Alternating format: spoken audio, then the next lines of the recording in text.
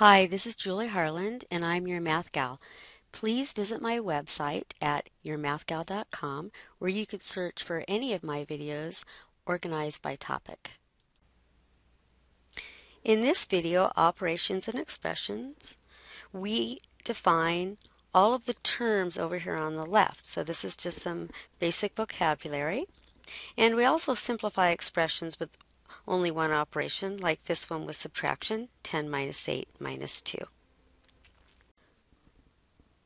Operations and expressions.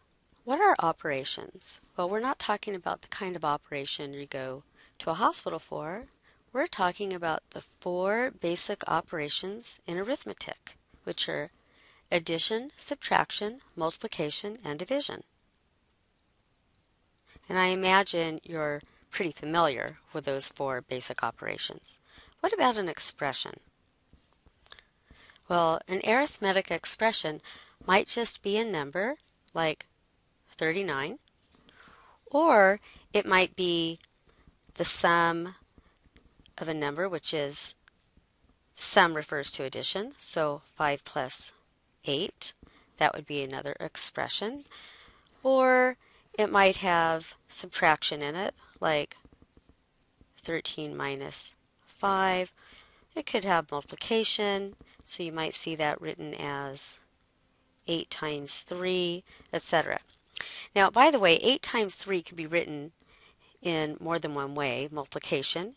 You could say 8 times 3, or you might write that with this little time sign like this, or you might write it with an 8 right next to a uh, a parentheses that has a number, this means 8 times 3, etc. Or you might have the parentheses around the 8, or you might actually have parentheses around both numbers. So there are several ways of writing 8 times 3, by the way. But all of these are examples of arithmetic expressions. Now, we can also have some division. So there's different ways of writing division too. If I wanted to do 16 divided by 2, this is the regular division sign, but we could also write that as a fraction, 16 over 2. Sometimes you'll see this written as 16 over 2 with this slash, and I don't recommend doing that most of the time. It can be confusing sometimes, so I prefer to have this fraction bar that goes straight across. Notice none of these have equal signs. So expression does not have an equal sign. Once you have an equal sign, it becomes an equation. So an equation has an equal sign. And some examples of equations are 4 minus 1 equals 3. It means there's an expression on the left side of the equal sign and there's an expression on the right side of the equal sign and they have to equal each other. So the expression again can just be a single number or it might be two numbers with an operation like a minus sign between the two numbers. It's important to, to, distinguish between an expression and an equation. People get confused, but remember, an expression in English is just like saying, whoa, no verb or anything. But if you say, my name is Julie, that word is, that verb in there helps. That's sort of like the word is, sort of like the word equals. It becomes, an, it's like an equation in arithmetic or in algebra. Now in algebra, we work with constants and variables. Constants are really just numbers. Okay? So some examples of constants is just like the number 7 or the number 100 or let's see you might have something written as negative 5. Now, if you've never seen this number, don't worry. Eventually you're going to learn about negative numbers. Or you might have a fraction like one third. Also, if you've never seen a fraction before, which is highly unlikely, we'll be covering that as well. Um, and there are some other constants. There's a whole bunch of other possibilities. There are some numbers like this. Have you ever seen this number? It's called pi. And it's a Greek letter and it represents a special number. And there's also numbers like this. You see this symbol with a number inside of it, like 2, and this is read the square root of 2. Again, Don't worry about it if you've never seen this. You're eventually going to be learning it. But these are all constants. These are just some examples of constants. Now, for variables, we usually use letters of the alphabet. So it doesn't matter what letter. You could use A, you could use B, you could use F, you know, whatever you want to use. And a variable changes from problem to problem. So A might represent the price of apples on a given day at a store. B might represent the price of bananas per pound, of course, at a store on a given day, etc. So one day the price of bananas might be 50 cents a pound, and the next day it might be worth 60 cents a pound. So B varies depending on what day it is or how it's defined in a particular problem. So we say that variable, right? these variables here, the number it stands for varies depending on that particular problem. But looking up at the constant, 7 is always the number 7. 7 can't be 5 the next day. 100 is always 100. One third always means the same thing. It equal, equals one third. As we get into algebra, you'll end up seeing variables and constants together, so you might see something like 5a, which is going to mean 5 times a actually, or you might some, see something like b plus 3, etc. So you'll see a combination of variables together, and these are expressions down here. So these are expressions that happen to contain both constants and variables. All right, here's a little bit of vocabulary. What are the natural numbers? Sometimes we call those the counting numbers as well. The natural num or counting numbers are the numbers you use when you're counting. Like say, okay, count to 10. What you would do is you would just go 1, 2, 3, 4, etc. Can't count to 10 very well here. 5, 6, 7, 8, 9, 10. And of course, that's only counting to 10, but to show it goes on and on, we use three dots. There's really no end to the number of counting numbers, but it starts with a number 1, because when you count, you usually start with a number 1. All right, we also have what are called the whole numbers. Here's the thing about whole numbers. Instead of starting from 1, we start from 0. So we've got the same numbers except we have an extra number in there, zero. They both go on forever and ever.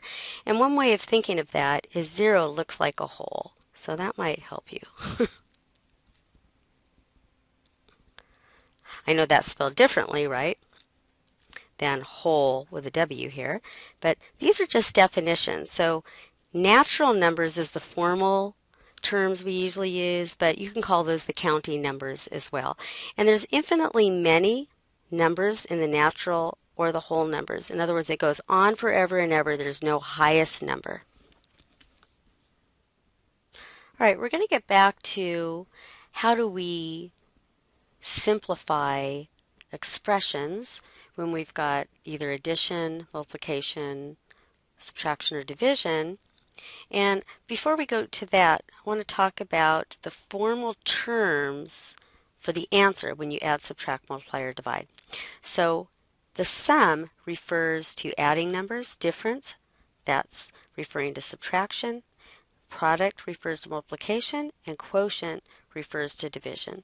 So I'm going to use these terms now to show how to simplify expressions. All right, to simplify an expression with only one type of operation, so in other words, it's only got addition or it only has multiplication, etc., you're going to compute by moving from left to right. This is what I mean. Say we want to find the sum. 8 plus 1 plus 3 plus 10. What do you do first? So we're going to say, what is this going to be equal to? Well, we begin by doing the first two terms. So this gives me 9, right? 8 plus 1 is 9. And then we just copy the rest of the problem. And then I'm just moving from left to right. Then I do 9 plus 3, which is 12, plus 10. And then I do 12 plus 10, which is 22. Now, you might not need to show all these steps. You could do that in your head. You would say, well, I start off and do 8 plus 1, which is 9 and then 9 plus 3 is 12, and then 12 plus 10 is 22. But what I'm doing is I'm moving from left to right. Now, it's true that you could get this sum doing it a different way because of some other properties that we're going to be going over later. But for now, this is the way we define simplifying an expression that only has one term. I mean, I'm sorry, that only has one operation. So let's do a problem with subtraction now. All right, let's do this problem. Again, we have an expression and there's only subtraction. We said we're going to go from left to right. So we first want to start with a 29 minus 14, and that'll be 15, right? And I still have minus 3, and so 15 minus 3 is 12. Now, let's say you didn't do it in that order. 12, I'm sorry, not 12, it's 29. 29 minus 14 minus 3. What if you did this first? You did the 14 minus 3 first. Well, then you'd have 29 minus 11, and that's 18. Hmm. But I didn't go from left to right, so actually, this is the wrong way to do it. So by not going left to right, I ended up with 18, which is in the incorrect answer. The correct answer here is 12. So that's how we simplify it if we've got to go, um, if we have one operation, we go ahead and go from left to right. You may wonder why you go left to right. It's just simply a convention. So if the convention would be starting over at the right and do that first, then we would all have gotten the, the same answer. But without this convention, notice one person might think the answer is 12, another person might say the answer is 18. All right, that's just a little introduction to operations and just some vocabulary and then how to simplify some problems with the plus or minus sign. So let's have you do a couple. All right, so put the video on pause and try these two problems. See if you could simplify. All right, let's do number one. So I have 3 times 5 times 4. If we use the convention, we multiply those two numbers first. So that's 15 times 4. And 15 times 4 is just 60. Right? Second one, we only have division, and so we just go left to right. 100 divided by 5 is 20. And then I still have to do divided by 5. And then 20 divided by 5 is 4. And so there you go.